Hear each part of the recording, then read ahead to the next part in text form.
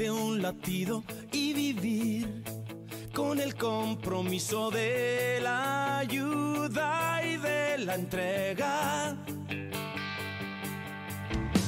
Vendaval de esperanza y solidaridad con el reto. 12 minutos para alcanzar la una de la tarde y nosotros vamos a abrir ya nuestra ventana solidaria aquí en Radio Uñol. Para ello, como cada martes, contamos con la compañía al otro lado de nuestra compañera Remezonón. Vamos a saludarla. Hola Reme, buenas tardes. Hola Raúl, buenas tardes, ¿cómo estás? Bien, ¿y tú cómo vas? Yo bien. Perfecto. A ver a quién tienes hoy con nosotros. Pues nada, hoy al otro lado del hilo telefónico pues tenemos a Diana Díaz, directora de la línea de ayuda de la Fundación ANAR. Eh, Diana, buenos días, ¿cómo estás?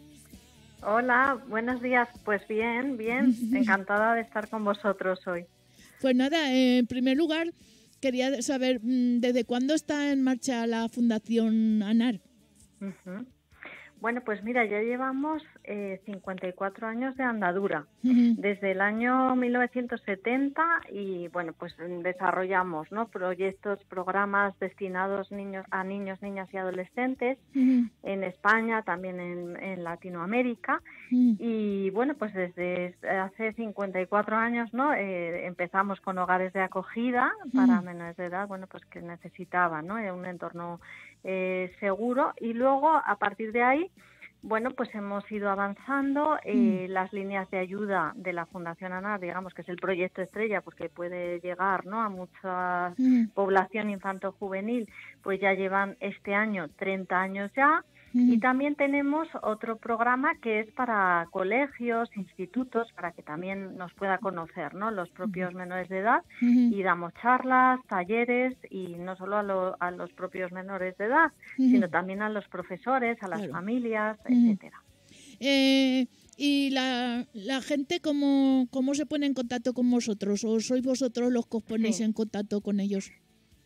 No, no, no. Desde la línea de, de ayuda de la Fundación ANAR, que son varias líneas, unas que son específicas para que nos llamen los niños, las niñas, los adolescentes, que es el 920-2010, que es gratis, 24 horas, totalmente confidencial, que está atendido por un equipo de psicólogos expertos, apoyados por abogados, trabajadores sociales para toda España.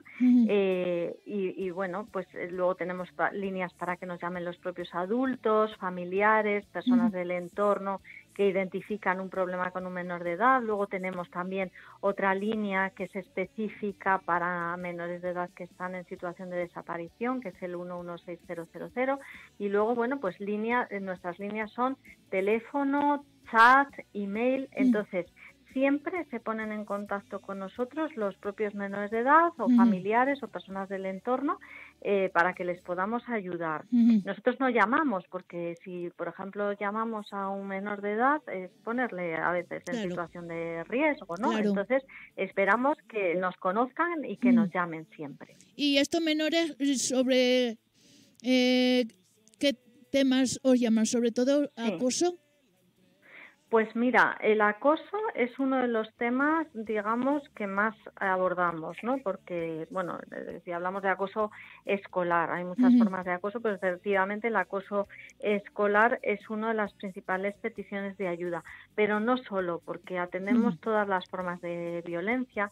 Es verdad que, bueno, pues mm, desgraciadamente, ¿no? A veces los mm, propios chicos y chicas pues Mm. tienen problemas en casa de violencia, maltrato físico, maltrato psicológico, Ujú. a- eh, también agresiones sexuales, situaciones de abandono, violencia de género también en casa porque el padre es violento frente a la mamá y por tanto también no los propios chicos Claro. y chicas necesitan ayuda o en Mm. las primeras relaciones de pareja estoy viviendo una violencia de género entonces, la violencia, por supuesto, eh, el acoso escolar mm, también, y también muchos temas de salud mental, ¿no? Por ejemplo, me encuentro mal, estoy depresivo en este momento, Mm. me ocurren cosas y no me, me, me siento ansiosa. Eh, mucho tema también, ¿no? A veces relacionado con la ideación y la conducta suicida, Sí. que hemos podido ayudar a muchos y muchas niñas. Y bueno, pues mm, temas de adicciones, eh, problemas también, ¿no? De relacionarnos con algún compañero, con algún amigo, problemas en casa. Sí, sí. Es muy amplio. Sí, ya, ya lo veo que, que, que coge muchas, muchas cosas. Eh, Exacto. Sobre todo, eh, en la, pero en, en, la adolescencia también, ¿no? O más en la adolescencia que en la, que en la infancia. Pues mira, cuando nos llaman mm, los propios menores de edad, sobre todo nos llaman a partir de los 10 años en adelante. Para las, mm, digamos, épocas más mm, de infancia, más pequeños y pequeñas, ahí es la familia sobre todo quien nos llama, porque claro, si tienes un problema tampoco sabes, ¿no? Cómo explicarlo y demás, y a veces tampoco no eres ni consciente que tienes un problema. Y ahí gracias a la familia, a los profesores que nos llaman, pues podemos ayudarles. Pero efectivamente, si nos llaman los propios menores de edad, nos llaman sobre todo a partir de los 12 años hasta los 17. Ya. Y de cara a los, a los mayores, a los adultos, ¿cómo, cómo les ayudáis? ¿Qué pautas les bueno, pues sí, muy bien. Cuando nos llama un adulto, ¿no? Del entorno, puede ser un familiar cercano, puede mm. ser un vecino mm, que escucha ruidos, imagínate, porque está escuchando que lo que parece una situación de violencia. Eh, o, bueno pues pues que está preocupado alguien por su hijo por su hija que sufre temas de acoso escolar o cualquier otra situación que le preocupa. Bueno pues cuando nos llama un adulto como si nos llama un menor de edad lo primero que vamos a hacer es evaluar cuál es el problema concreto, porque cada caso es único. Entonces tenemos que hacer una buena evaluación, mm. qué pasa con la persona, qué pasos se han dado ya, qué profesionales a lo mejor ya saben del problema, si no se sabe.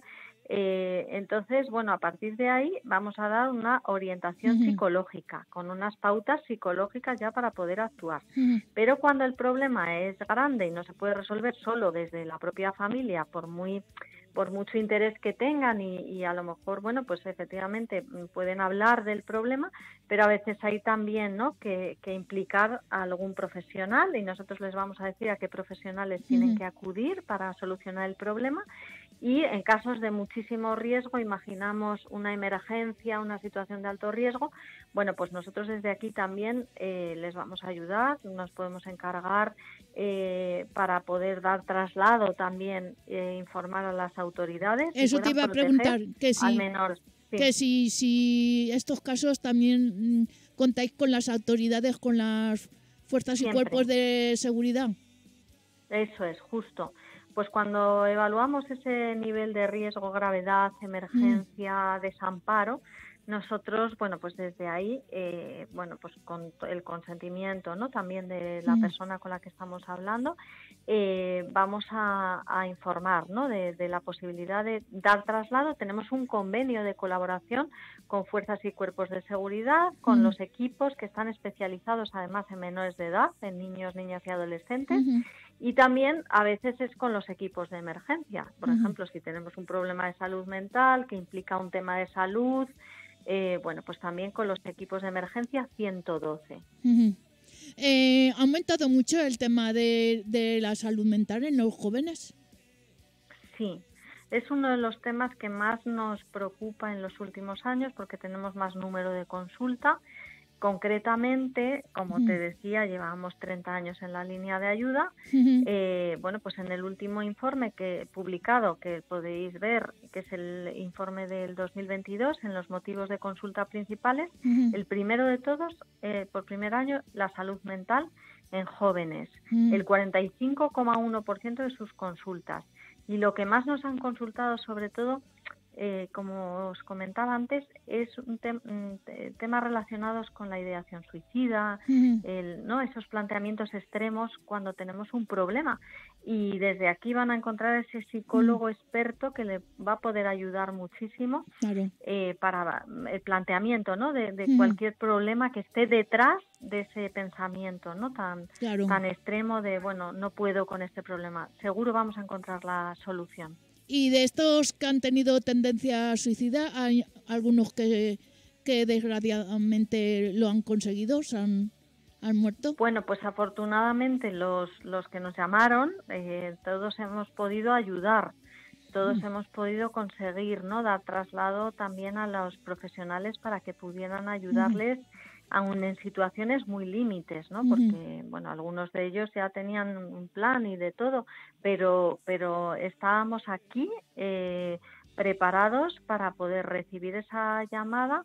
También cuando una persona llama es porque necesita esa ayuda, porque quiere ser ayudado, ¿no? Entonces, afortunadamente eh, estamos aquí para eso, para, para plantearnos que podemos intervenir y que después de la intervención de emergencia vamos a seguir actuando con el caso para que encontremos las vías mm, para mejorar la situación si detrás de ese de esa angustia tan grande, ¿no? A lo mejor hay un problema relacionado o varios problemas porque mm. siempre son muchos los problemas que están detrás de me encuentro mal en casa o tengo problemas en el cole o lo que sea, un tema de violencia. Vamos a ver cómo se soluciona toda esa situación, qué pasos hay que dar para que la persona vaya resolviendo mm. y se encuentre mucho mejor, ¿no? A nivel de salud pues mental.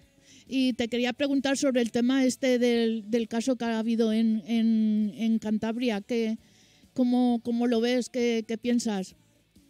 Nosotros de casos concretos, ya sabéis que por eh, filosofía de ANAR, nosotros nunca, nunca mm. nos eh, manifestamos, ¿vale? Porque siempre, eh, bueno, pues hay profesionales que ya están trabajando sobre el mm. caso concreto. Nosotros hablamos de los fenómenos, ¿no? De, de las cosas mm, bueno, pues que, vemos desde ANAR, ¿no? En genérico. Exacto, pero eso es. Pero los casos no, porque tenemos ese respeto, ¿no? De, bueno, pues los profesionales vamos a dejarles actuar con el caso y también porque hay que ser muy respetuoso con los datos de, de las personas, ¿no? Que sufren, que están involucradas. Eh, bueno, te quería preguntar sobre ti. Eh, ¿Cuánto tiempo estás en esta fundación? Pues yo ya llevo una trayectoria de, voy a hacer 17 años en, en la Fundación ANAR y, bueno, pues he pasado además desde las escuelas, el programa de escuelas y colegios, donde iba a hablar con, con los alumnos, con las familias, con los padres, de todos esos temas ¿no? que estamos hablando. y, y, luego pasé ya eh, muy prontito a las líneas de ayuda que me enamoraron, porque claro, se ayuda a tantos niños y niñas mm, al día que verdaderamente es un lujo estar aquí. Claro. Eh, tú, eh, no sé, tú antes de, entrar aquí, que, ¿a qué te dedicabas? Eh, ¿Tenías algo, alguna profesión relacionada con el tema? Sí, claro, yo soy psicóloga. Sabes que me, me, gusta mucho el tema de infancia desde siempre, pero es verdad que no solo me dedicaba a infancia, sino que también trabajaba con otros colectivos, ¿no? eh, bueno, pues me, me, gustaba mucho también el tema de ancianos, tercera edad, y, y, estaba enfocada en esto y también, bueno, pues eh, como psicóloga sanitaria, que es lo que soy, ¿no? Siempre me ha gustado muchísimo el tema de, de, la ayuda a las personas y ya llevo, bueno, pues más de 20 años, ¿no? Dedicándome a, estos temas relacionados con la psicología, la salud mental y la ayuda. Ya. Eh, mm, y eh, siempre, siempre has estado relacionada con estos temas, ¿no? Sí, sí, sí, sí. Desde que, bueno, pues es que ya tengo unos años ya de trayectoria y andadura y desde que terminé, ¿no? La, mm. bueno, pues la carrera de psicología, siempre, ¿no? Tuve clarísimo que era lo que me quería mm. dedicar y, y, bueno, pues efectivamente eh, con otros colectivos incluso, ¿no? Que también me parecían colectivos muy interesantes como tercera edad y menores de edad que tenían otras problemáticas o, adultos incluso, ¿no? Sin ser menores de edad, pero siempre destinada a, bueno, pues mejorar un poco, ¿no? La calidad de vida de las personas o en que podemos ayudar, ¿no? Porque todas las personas además tenemos ese potencial, ¿no? de, ayudar a, a otros y, bueno, pues me parece fundamental. Eh, bueno, ya, ya has dicho que de, de, echando la vista atrás, de, de, aquí hacia atrás, eh, ¿cómo ves la situación de, los de los menores? ¿Han cambiado mucho los problemas que tienen ahora los, los jóvenes con los que tenían hace, digamos, 30 años? Sí, pues mira, yo desde el tiempo que llevo aquí en la Fundación ANAR, en las líneas de ayuda concretamente, he visto una transformación ¿no? de, las temáticas. Cuando yo empecé en líneas de ayuda hace 17 años, los principales motivos por los que nos consultaban y nos llamaban era por temas relacionados con dificultades de convivencia, de relación, eh, problemas de comunicación. Esos eran los primeros motivos, fíjate. Y luego, eh, poco a poco ya, bueno, eh, vino la tendencia de las situaciones de violencia como principal motivo de consulta. Es verdad que mm, al poco tiempo, ¿no? Dos años posteriormente, ya la violencia era el primer motivo de, consulta, sobre todo la violencia intrafamiliar, la violencia en las casas, ¿no? que es muy invisible, que nadie sabe y que bueno y que sucede y que por eso es tan importante, ¿no? Que tengan un teléfono, el 920 al que se pueda llamar o el chatanar, que es a mm. través de nuestra página web y que estamos 24 horas. Y, y después, bueno, pues hemos visto, ¿no? Como la salud mental ha ido en avance. Tiene mucho que ver con el lo tecnológico, la tecnología, ¿no? Como ha sido muy buena, pero también es muy mala la tecnología, los móviles, el internet. Eso es. Eh, eh, como riesgo, ¿no? Como factor que puede mm, suponer, si no se usa bien, si no se usa adecuadamente, puede suponer un riesgo. Claro. Porque, bueno, pues nos pone en contacto muchas veces con una información que no es adecuada para nuestra edad. Si somos muy jóvenes y a lo mejor ve una información que tiene que ver con eh, cómo hacerme daño o, por ejemplo, con temas de pornografía, pues no es adecuado, ¿no? Y entonces eso al final genera mm. riesgos. Claro. Eh, tiene que ver también eh, el acoso, digamos, escolar con la gente, bueno, que, que es diferente a los demás, pues que lleva gafas o está gordico no sé. Bueno, pues sí, mira, eso lo vemos en nuestros estudios, que todos los años publicamos un estudio, Fundación ANADA y Fundación Mutua Madrileña, de acoso escolar y mm. ciberbullying, ¿no? Y, todos los años es verdad que se repite esa misma tendencia que, que tú mm, me comentas, mm. que tiene que ver con el ser percibido diferente, ¿no? Por el grupo. Eh, bueno, pues diferentes somos todos, en realidad, ¿no? Y es maravilloso porque vivimos en un mundo eh, que nos enriquecemos los unos con los otros. Pero es verdad que sale todos los años como que la persona que nos llama, que es la que lo está sufriendo ese acoso escolar, nos dice, no, es que claro, por, bueno, no sé, a lo mejor soy el más listo de la clase, saco mejores notas y no, no soy bien visto por Digamos, el empollón, más alto. El que sea el empollón de la clase.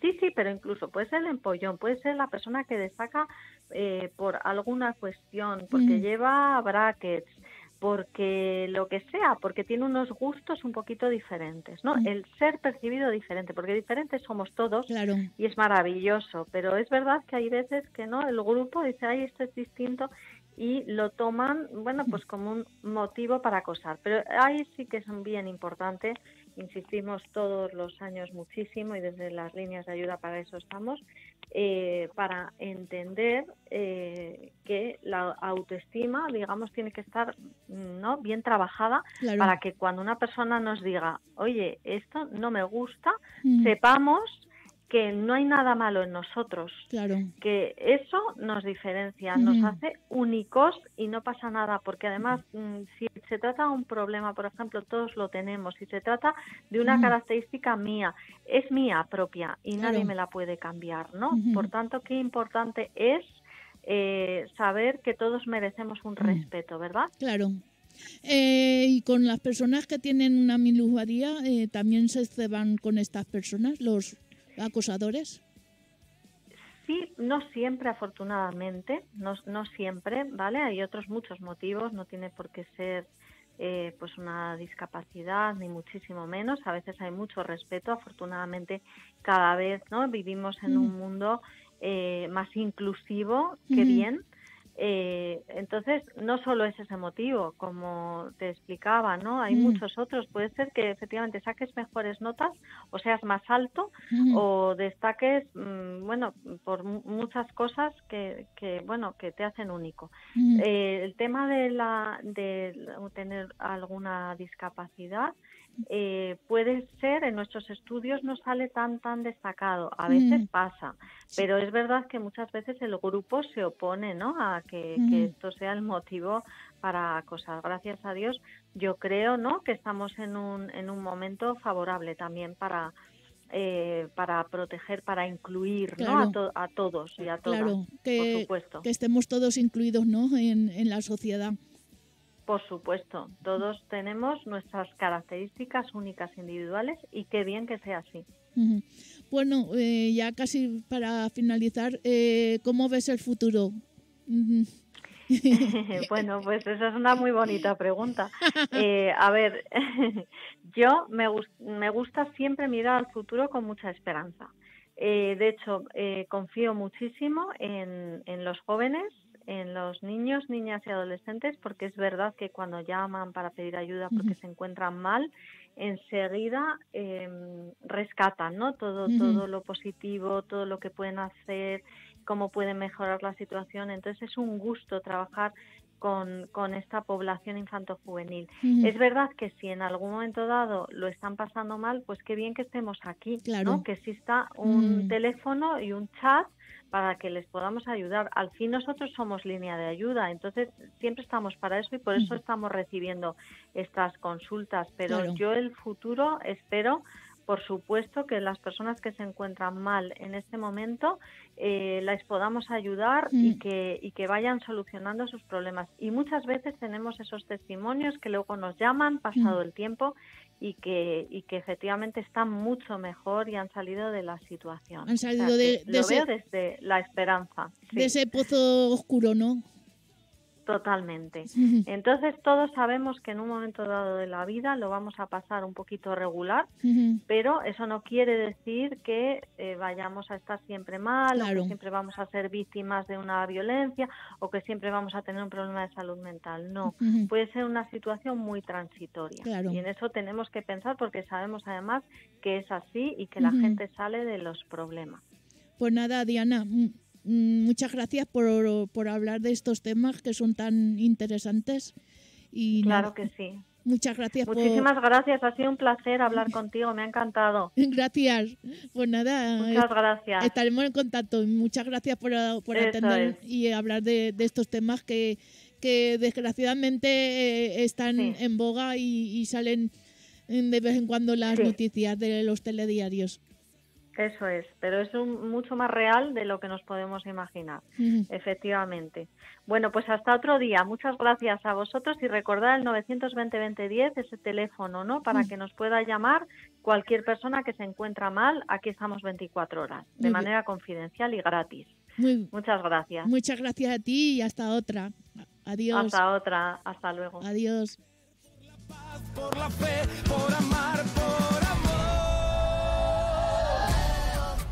En este mundo absurdo, el mérito es tan solo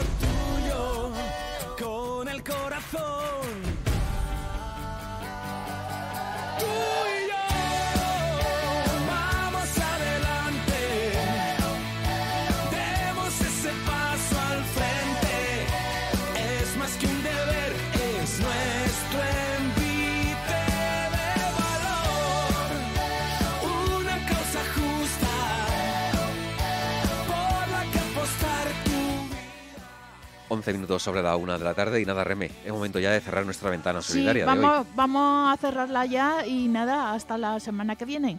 Muy bien, Reme, pues como siempre, muchas gracias por haber estado por aquí y feliz día de la radio, compañera. Igualmente, feliz día de la radio y a todos los compis. Exactamente, hasta pronto. Adiós, How.